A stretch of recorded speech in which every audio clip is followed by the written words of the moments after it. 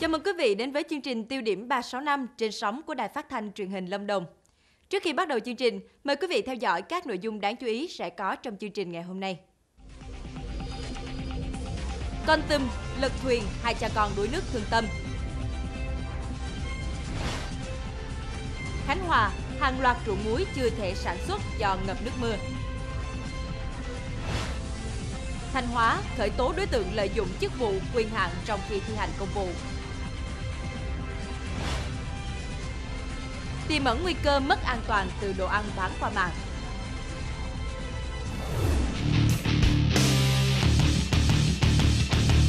Thưa quý vị, kỳ thi Trung học phổ thông quốc gia 2017 đã kết thúc trong thành công và tốt đẹp. Năm nay, thí sinh được thi tại địa phương, gần với nơi học tập và cư trú, đã tạo sự thuận lợi rất lớn về tâm lý và sức khỏe cho các em.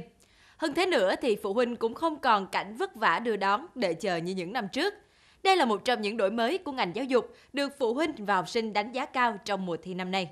Nhiều năm trước, thí sinh ở các tỉnh phải đến các thành phố lớn để dự thi, dẫn tới tình trạng quá tải và gặp nhiều sự cố, khiến nhiều người lo ngại. Ngoài mất nhiều thời gian di chuyển, thí sinh và các phụ huynh phải lo lắng về nơi ở, nhà trọ, lo tiền xe, tiền ăn ở. Nhiều gia đình phải vất vả chuẩn bị số tiền rất lớn cho con em đi thi. Nhưng năm nay, nhiều em học sinh thậm chí còn được thi ngay tại trường học của mình. Phụ huynh không còn cảnh phải ngủ ngoài vỉa hè chờ con đi thi, tay sách theo hành lý đến cổng trường. Việc thi Trung học phổ thông quốc gia năm nay vừa thoải mái về tâm lý, vừa tiết kiệm về chi phí đã khiến phụ huynh khá vui mừng phấn khởi. Thi tại trường đó nó cũng không có bỡ ngỡ, không có kiểu như là đi lại thì mình thấy nó cũng tiện lợi hơn. Đặc biệt là năm nay thì à, các cháu cũng đã giảm bớt được cái áp lực. Thì thi cái kỳ thi trung học này cũng là một cái nền tảng để các cháu đi vào các trường đại học. Không phải thi hai lần cho nên là, là chú thấy là năm nay là cái cải cách nhiều cũng rất là tốt. Mà mình cũng hy vọng là nó sẽ được duy trì. Cái việc thi tại trường thì em cảm thấy nó khá thuận lợi vì mỗi ngày em đều đi tới trường. Với cái khoảng thời gian đó thì em có thể canh đúng cái thời gian mình tới trường để có thể ôn bài và làm, làm bài thi thoải mái nhất có thể. Nên cái thấy đó là một điều rất là tốt. Và như vậy sẽ giúp đỡ cho phụ huynh hơn một phần nào đó như vậy, sau 3 kỳ thi, kỳ thi Trung học phổ thông quốc gia năm nay đã thành công tốt đẹp, đem lại không ít thuận lợi cho thí sinh. Bộ Giáo dục Đào tạo cũng cho biết các đơn vị hội đồng thi công bố và thông báo kết quả cho thí sinh vào ngày 7 tháng 7 và sẽ công bố kết quả xét công nhận tốt nghiệp trung học phổ thông chậm nhất vào ngày 14 tháng 7. Chương trình xin được tiếp tục với các thông tin đáng chú ý khác.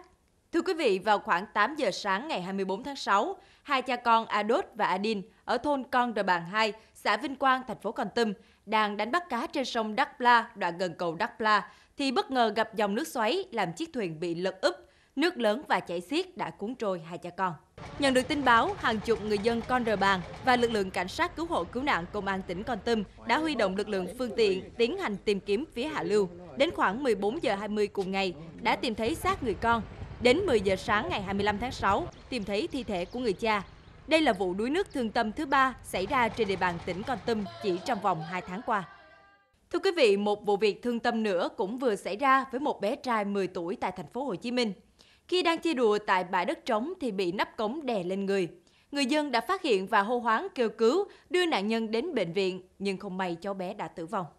Tối 24 tháng 6, Công an quận 12 đã khám nghiệm hiện trường, điều tra vụ một bé trai 10 tuổi tử vong dưới nắp cống công trình tại một bãi đất trống trên địa bàn phường Tân Thới Hiệp. Thông tin ban đầu, chiều ngày 24 tháng 6, một số người dân đi ngang bãi đất trống trên đường TTH21, phường Tân Thế Hiệp, quận 12, nhìn thấy bé trai tên N, 10 tuổi, nằm bất động dưới đất, cơ thể bị một nắp cống bằng bê tông đè lên.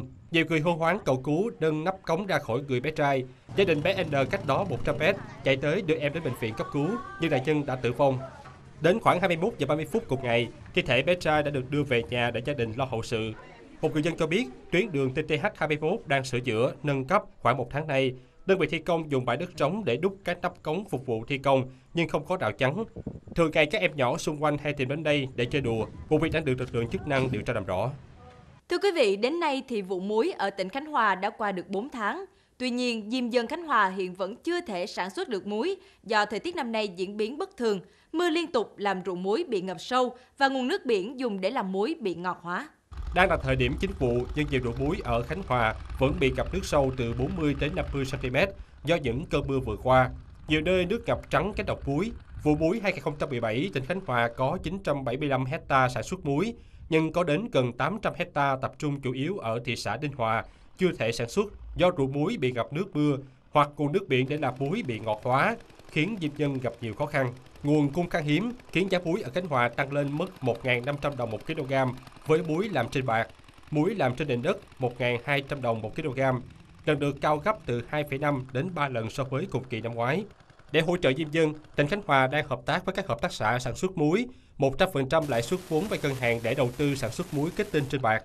Định mức cho vay không quá 50 triệu đồng một hecta, hạn mức vay tối đa đối với các dân không quá 250 triệu đồng, đối với hợp tác xã không quá 500 triệu đồng. Tại huyện Đồng Xuân, tỉnh Phú Yên, có một ngôi làng được người dân gọi với cái tên là làng bụi. Gọi như vậy là vì suốt cả ngày cả làng đều sống trong bụi cùng với nhiều nỗi lo bệnh tật. Nguyên nhân bắt đầu từ việc thi công các tuyến đường quanh làng, song đơn vị thi công lại không có những giải pháp để hạn chế ô nhiễm bụi. Sự việc kéo dài suốt nhiều tháng qua mà vẫn chưa được xử lý khiến cho người dân trong vùng hết sức bức xúc. Hy vọng đơn vị thi công nhanh chóng có những biện pháp khắc phục tình trạng này để đảm bảo sinh hoạt bình thường cho người dân. Tiếp tục với các thông tin khác. Thưa quý vị, trong khi cả nền kinh tế đang chung tay cùng hệ thống ngân hàng xử lý nợ xấu tồn động, thì các ngân hàng lại liên tục đưa ra thông báo về lợi nhuận gia tăng sau 5 tháng đầu năm. Các chuyên gia kinh tế và ngân hàng nói gì về điều này? Mời quý vị cùng theo dõi ghi nhận của chúng tôi. Tính đến cuối năm 2016, nợ xấu của ngân hàng Sacombank là 6,81%, tương đương số dư nợ xấu tuyệt đối khoảng hơn 16.200 tỷ đồng. Lợi nhuận trước thuế trong năm rồi đạt 155 tỷ đồng. Sang năm 2017, ngân hàng này vừa công bố đặt mục tiêu lợi nhuận 585 tỷ đồng, tức là gấp 3,7 lần so với kết quả của năm ngoái. Trong khi đó, nợ xấu vẫn chưa có dấu hiệu giảm bớt. Kết thúc quý 1, ngân hàng Eximbank cũng ghi nhận lợi nhuận trước thuế tăng đột biến, gấp hơn 5 lần so với cùng kỳ, đạt 170 tỷ đồng. Trong khi đó, tỷ lệ nợ xấu tính đến ngày 31 tháng 3 năm 2017 chạm ngưỡng 3%. Trong đó, nợ có khả năng mất vốn chiếm 1.262 tỷ đồng, tăng thêm 130 tỷ đồng. Theo số liệu mới nhất, nợ xấu nội bản của hệ thống ngân hàng là 2,46%. Nếu tính cả nợ xấu bán cho VAMC thì khoảng 5,81%. Nếu tính cả nợ cơ cấu thì còn lớn hơn. Lý giải về tình trạng ngân hàng báo lãi tăng trong khi nợ xấu cao, chuyên gia kinh tế Cố Văn Lực cho rằng mức lợi nhuận đó mới là tạm tính. Với quý 1 tăng ấy, thì ờ, chứng tỏ rằng là các ngân hàng cũng chưa phải là đã trích lập dự phòng rủi ro à, đầy đủ cho toàn bộ các khoản nợ xấu bởi vì họ mới tạm tính và thông thường hệ thống ngân hàng người ta sẽ trích lập dự phòng rủi ro ít nhất là phải hết 6 tháng hoặc là hết một năm theo cái à, niên khóa tài chính của bất kỳ ngân hàng nào và quốc tế cũng làm như vậy. Tôi lấy ví dụ như là có những ngân hàng công bố 5 tháng đầu năm vừa qua lợi nhuận nhận trước thuế là khoảng độ 500 tỷ. Thế nhưng mà cái vốn chủ sở hữu của họ là 20.000 tỷ. Thì như vậy, ngân hàng này đang có hệ số sinh lời đạt được có 2,5%. Thấp hơn rất nhiều so với cái lãi suất tiết kiệm. Và như thế rõ ràng là không phải là hiệu quả. Ở một góc độ khác, các chuyên gia kinh tế cho rằng ngân hàng cũng là một loại hình doanh nghiệp. Nếu xét trung bình hiệu suất sinh lời của cả hệ thống ngân hàng trong năm 2016 là khoảng 7%, bằng với lãi suất gửi tiết kiệm trung hạn, thì lợi nhuận của ngân hàng không phải là cao so với mặt bằng doanh nghiệp nói chung. Tiếp theo chương trình sẽ là thông tin về sáng chế. Thưa quý vị, giờ đây việc giải các bài toán cho giáo viên và các em học sinh đã trở nên dễ dàng hơn nhờ vào ứng dụng toán học thông minh mang tên Math Solver. Phần mềm do thạc sĩ công nghệ thông tin người Việt sáng tạo và hiện đang nhận được hàng chục ngàn lượt tải, đánh giá tốt từ cộng đồng yêu toán trên thế giới. Bắt nguồn từ niềm đam mê toán học từ bé, anh Phạm Khắc Cảnh đã sáng tạo nên phần mềm trong vòng 3 năm. Sau 4 tháng thử nghiệm trên kho ứng dụng Play Store và Apple Store, đến nay Maxlover đã có gần 100.000 lượt người tải về. Phần lớn là sinh viên, học sinh từ các nước Việt Nam, Ấn Độ, Nga, Mỹ, châu Âu, một vài nước Đông Nam Á. Lúc đầu làm thì để phục vụ Việt Nam là chính nhưng mà trong quá trình thì số lượng người nước ngoài, các nước lại đau nhiều hơn cách thức hoạt động chính của nó là nó sẽ giải những cái bài tập đề bài toán sau khi giải xong, nó sẽ lưu lại kinh nghiệm của nó và nó sẽ giải được những cái bài khác khó hơn đó là cách thức chính thì ờ, để ờ, để làm được điều đó thì cũng có sự hỗ trợ của những cái tập đề của các thầy cô của các trường ờ, trong Hồ Chí Minh. Phần mềm có giao diện đơn giản và rất dễ sử dụng. Phần mềm này có khả năng giải nhiều dạng toán khác nhau từ phổ thông đến cao cấp. Đặc biệt, khi sử dụng phần mềm này, người dùng không chỉ tìm ra được đáp số mà còn biết được cách giải với từng bước chi tiết. Anh Cảnh cho biết, hiện vẫn tiếp tục hoàn thiện các tính năng của phần mềm hướng đến mục tiêu phổ thông và tập trung các dạng toán phổ quát, với đối tượng chính vẫn là học sinh sinh viên với lời giải chi tiết hơn. Còn bây giờ là thông tin về văn hóa. Thưa quý vị, ngày 25 tháng 6, tiến sĩ Phan Thanh Hải, Giám đốc Trung tâm Bảo tồn Di tích Cố đô Huế cho biết, sau quá trình tìm kiếm ở khu vực dự án bãi đổ xe đang làm gần Lăng Vua Tự Đức, đã tìm thấy một tấm bia đá có khắc 13 chữ Hán, nghi là bia mộ của vợ vua Tự Đức Triều Nguyễn. Tấm bia có chiều rộng khoảng 32cm, dài 67cm, bề dày 10cm, phần chốt bia không bị hư hại, phía trên có khắc dòng chữ Hán. Tiền triều tài nhân cũ giai, Lê Thị Thụy, thuộc Thuận chi bộ, tạm dịch là bộ của bà tài nhân họ Lê, Thụy là thuộc Thuận. Theo tiến sĩ Phan Thanh Hải, giám đốc trung tâm bảo tồn di tích Cố đô Huế, tài nhân là danh vị của một vị phi, tức vợ thứ của vua trong cung cấm. Tài nhân cũ giai là bậc thấp thứ chín, cũng là bậc thấp nhất và cơ bản nhất của một phi tần triều Nguyễn. Với những gì ghi trên tấm bia mộ cho thấy, có thể khẳng định bước đầu đây là tấm bia mộ của một bà vợ vua dưới triều đại nhà Nguyễn. Tuy nhiên, có phải vợ vua Tự Đức hay không thì cần phải xác minh thêm. Sau khi tìm thấy tấm bia mộ, lực lượng chức năng đã tiến hành lập biên bản, khoanh vùng ngôi mộ bị vùi lấp. Hiện tại tấm bia vừa được tìm thấy đang đặt tại nơi được coi là huyệt mộ và tạm thời sẽ giao lại cho chính quyền địa phương bảo vệ nhằm phục vụ công tác thẩm định trong thời gian tới.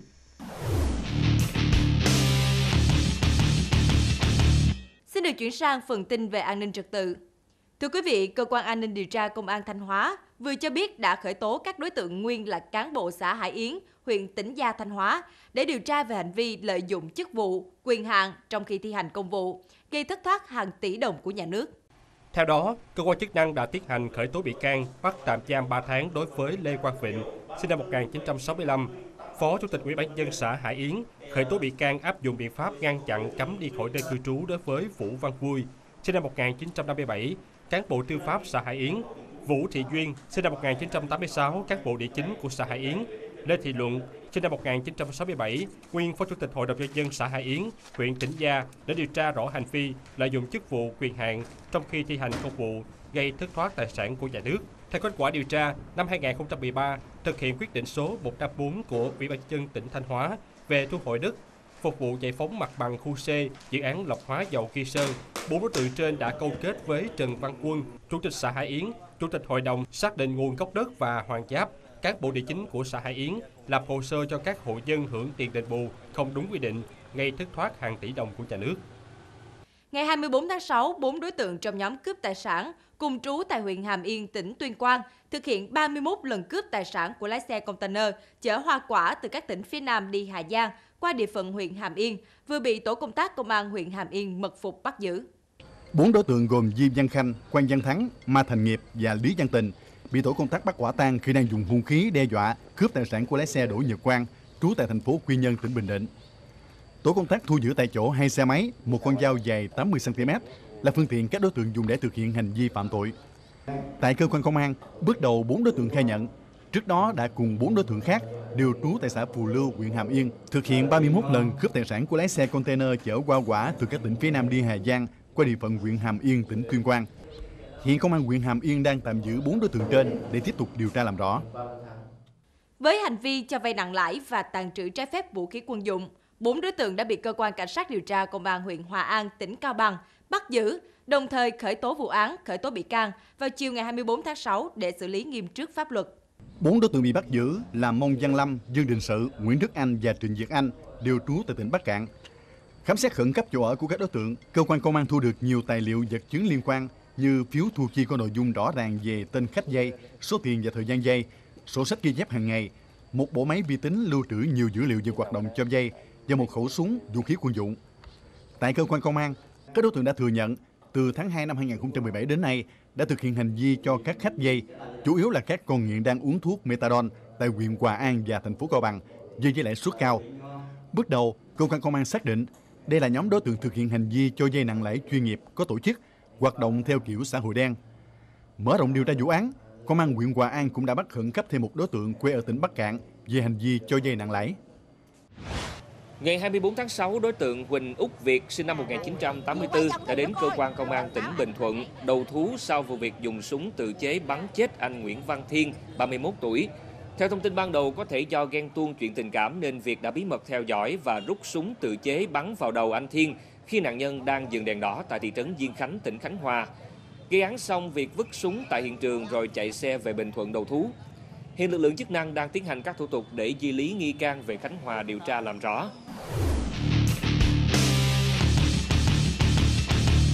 Trong phần tiểu mục vấn đề hôm nay, chúng tôi sẽ phản ánh về một loại hình kinh doanh đang khá thịnh hành hiện nay. Thưa quý vị, bán hàng qua mạng, nhất là đồ ăn thức uống đã dần trở thành một xu hướng được nhiều người kinh doanh lựa chọn bởi hiệu quả kinh tế mà nó đem lại là khá cao. Với ưu điểm là phục vụ mọi lúc, mọi nơi, hình thức giới thiệu quảng bá sản phẩm hấp dẫn. Thế nhưng, đằng sau những hình ảnh quảng cáo lung linh về các món ăn, liệu những sản phẩm này có đảm bảo vệ sinh an toàn thực phẩm hay không? Điều này hiện vẫn chưa có câu trả lời chính xác. Có thể thấy, người lựa chọn mua đồ ăn qua mạng bởi ưu điểm lớn nhất của đó chính là tiện lợi. Chỉ cần vài thao tác đơn giản trên mạng Internet, người tiêu dùng nhanh chóng có được rất nhiều phản hồi từ những người bán hàng để lựa chọn. Hàng trăm món ăn hấp dẫn, hình ảnh đẹp mắt được bày bán tràn lan trên mạng xã hội, khiến cho nhiều người không hề hoài nghi về nguồn gốc và chất lượng sản phẩm. Nhiều khi là do thời gian và đặt hàng qua mạng thì tiện lợi hơn nên là mình sẽ đặt hàng qua mạng. Tuy nhiên, vẫn có người tiêu dùng e dè với những món ăn trên mạng bởi vì hầu như sản phẩm mà người mua nhận được chỉ là những món ăn, đồ uống không nhãn mát, không kiểm định. Thấy các bạn em mua về nhưng mà chất lượng của sản phẩm không được như ban đầu. Hay bị thiêu rồi ờ, nhiều vấn đề khác liên quan thì em không thấy muốn mua nữa. Đây là những gói nguyên liệu để làm món trà thái tại nhà của một người bán đồ ăn qua mạng. Không nhãn mát, không hạn sử dụng, không nơi sản xuất. Cứ thế, qua quá trình pha chế, người bán hàng đã có thể hoàn chỉnh được 1,5 lít trà từ những gói nguyên liệu ban đầu. Rất thơm và bắt mắt, nhưng không ai chắc chắn chỗ trà này có đảm bảo vệ sinh an toàn thực phẩm hay không. Hiện nay, hoạt động buôn bán thực phẩm trên mạng đang ngày càng nhiều, thế nhưng lại chưa có cơ quan chức năng nào giám sát quản lý. Đây chính là nguy cơ tiềm ẩn mất vệ sinh an toàn thực phẩm. Nhiều người bán vì lợi nhuận mà sử dụng nguyên liệu hay quy trình chế biến kém vệ sinh an toàn thực phẩm, còn người mua thì lại bị che mắt bởi các bức ảnh quảng cáo và sự chào bời đầy hấp dẫn. Thưa quý vị, đến đây thì thời lượng dành cho chương trình cũng đã hết. Xin được cảm ơn quý vị đã quan tâm theo dõi. Chương trình Tiêu điểm 36 năm được phát sóng trên đài phát thanh truyền hình Lâm Đồng. Xin kính chào và hẹn gặp lại quý vị vào chương trình ngày mai.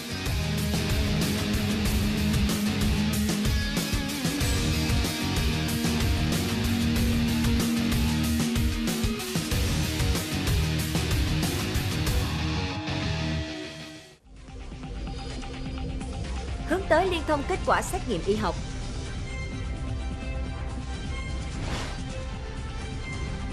Thành phố Hồ Chí Minh trường dự bị đại học chào đón học sinh ngay trước điểm thi trung học phổ thông. Hà Tĩnh bắt 5 đối tượng quốc tịch Lào thu 40 bánh heroin và 120.000 viên ma túy tổng hợp. Cần sớm giải quyết mâu thuẫn giữa xe ôm công nghệ và xe ôm truyền thống.